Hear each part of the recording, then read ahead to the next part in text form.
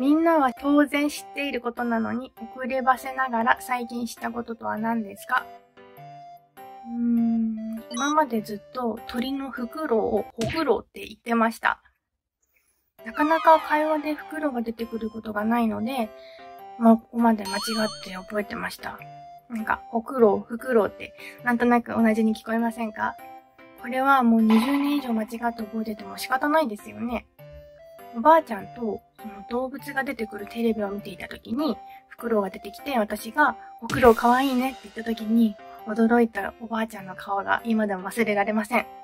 本当に知らなかったのって聞かれましたが、本当に知らなかったです。小さい子だと可愛い言い間違いだねってほんわかしますけど、私みたいないい大人が間違っていたら本当に恥ずかしいです。人前でおならをしてしまって完全にバレてしまったことはありますか？その時はどんな感じになりましたか？うーん、完全にバレてしまった。うーん、まあ、バレてしまったとは思いたくないんですが、多分あります。整体に行った時です。結構かっこいい整体さんにしてもらってた時なんですけれども、お腹あたりを押された時におならが出そうになって我慢をしていたんですけれども、その我慢するために力を入れていたので、整体師さんが力を抜いてくださいって言ったので、力を抜いたら、うっておならが出てしまいました。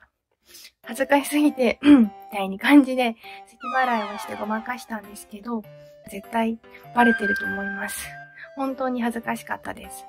人におならを聞かれるのってすごく恥ずかしくて嫌なんですけど、初対面の、しかもイケメンの整体師さんの前でおならをするなんて本当に恥ずかしくて、すぐに逃げ出したかったです。穴があったら入りたいってこういうことなんだなって実感しました。でも、不幸中の幸いだったのが、匂いがないタイプのおならだったんです。これで臭かったら本当に最悪でした。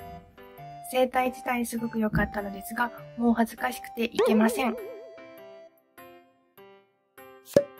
若い女性でも、とした時に尿漏れがあると聞きました。笑った時やくしゃみをした時など、尿漏れ経験があったら教えてください。うん、これは恥ずかしながら何度かあるんです。トイレに行くのを我慢してしまうタイプなので、それが悪いと思うんですけど、友達と話していて思い切り笑った時にちょろって漏れたことがあります。ほんの少しだったので洋服までには漏れなかったんですけど、すごく焦りました。洋服まで漏れてなかったから、友達や周りにバレることはなかったんですけど、心ここにあらずって感じで、その後の会話もほとんど頭に入らず、すごく焦りました。多分、周りからしたら尿漏れはバレてないけど、その後の挙動不審の動きで何かあったなって思ったはずです。あとは、外で運動してジャンプしたり、体を急に動かしたタイミングで思わず漏れてしまうことがあります。なんか結構漏れてます。恥ずかしい。なんか、尿漏れって CM とかで見ると、年を取った方がなるようなイメージなんですけど、私のような年齢でも全然漏れてしまっています。多分、そこの筋肉が弱っているので、トレーニングをして漏れないようにしていきたいと思います。